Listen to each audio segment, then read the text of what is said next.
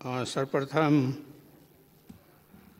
म सम्मान्य प्रधानमन्त्री शेरबहादुर देउपाजीलाई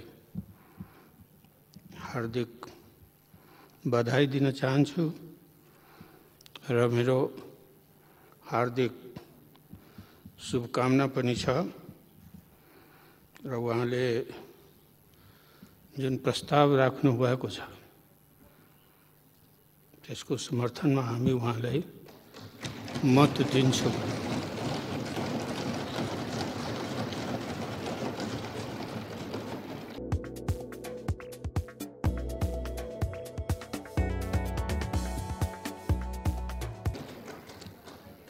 तर मेरो निवेदन गराइ के हो कि जब जब प्रधानमंत्री को निर्वाचन या नियुक्तिको प्रसङ्ग आउँछ तब तब हामी आफूलाई हाम्रो पार्टी पनि उत्पीडित र प्रताडित समूहहरू पनि घायल आफूलाई पाउँछ। हामी सुशील कोइरालालाई आफ्नो मत दियौँ। बदलामा हाम्रो आन्दोलन कमजोर भयो। हामी आन्दोलनमा थियौँ यही संविधानको विरुद्ध। हाम्रो आन्दोलन कमजोर हुन हो आज फेरि हामी आफू आफूलाई चाहिँ घायल पाइरहेको छौँ। मत त उहाँलाई दिन्छौँ तर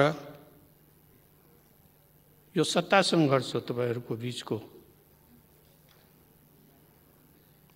जो प्रताडित समूह छ उत्पीडित समूह छ जो आम जनता छ त्यसले केही पाउने होइन। प्रधानमन्त्रीजी त परमादेशले भनेको हो जनताको आदेशले होइन। जनताद्वारा त होइन।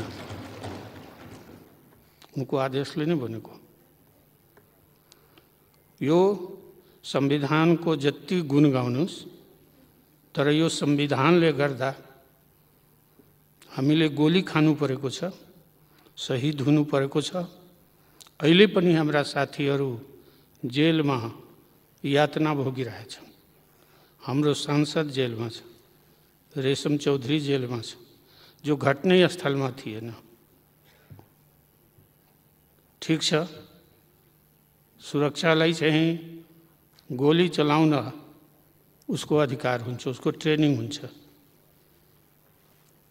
हामीले गोली चलाउँदा हामीले पनि गोली चलाउन सिकेका छौँ छ।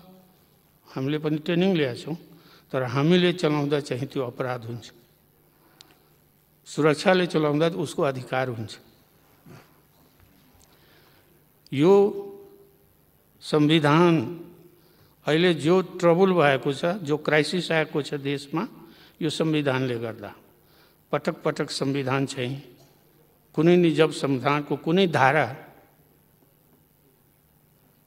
कार्यान्वयनको अवस्थामा ल्याउँछु भने त्यहाँ कुनै न कुनै व्यवधान अवरोध उत्पन्न हुन्छ। यो संविधानको विशेषता।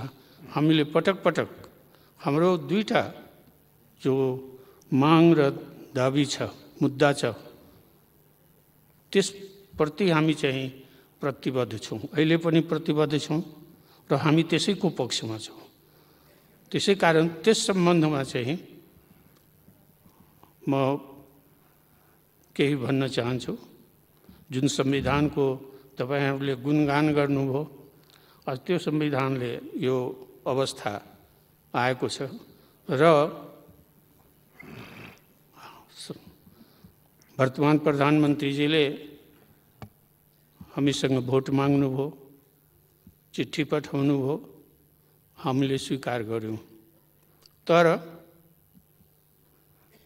के यो संविधानले देशको समस्याको समाधान गरिरहेको छ त? जो प्रताडित समूह छ जो उत्पीडित समूह छ जो बहिर्गमनमा परेको छ त्यसले के पाएको छ यो संविधानबाट? पहिला पनि उपेक्षित अहिले पनि उपेक्षित।